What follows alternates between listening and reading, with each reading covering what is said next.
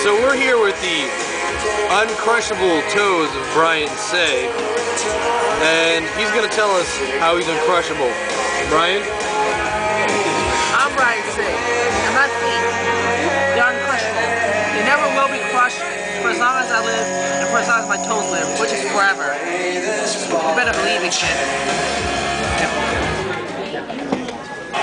That's Mike Chung.